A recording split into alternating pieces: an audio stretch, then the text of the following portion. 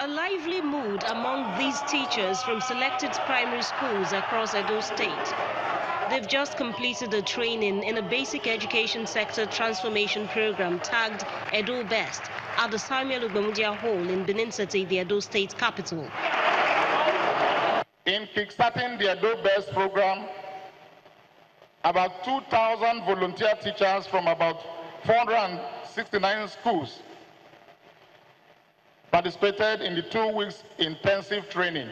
In her address, the acting chairman of the state's Universal Basic Education Board, Joan Oviawe, maintains that good governance and institutional strengthening are vital to the success of Edo Best. We want to have a process in place. Essentially, there should be a method to the madness. So that's what uh, Pillar 1 is doing. Uh, we've already started that. One new policy that you've heard our teachers talk about is the uh, eradication of corporal punishment. In Edo State, we are not going to be flogging children anymore.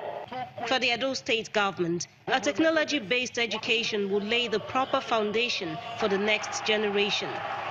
The governor of Edo State, Godwin Obaseki, pronounces some strict measures to help sustain the reforms in the basic education sector.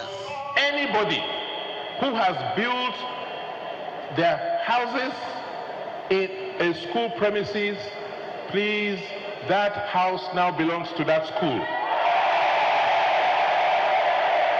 If a child is found loitering when they should be in school, that child will be arrest, arrested and the parents will also be arrested and fined.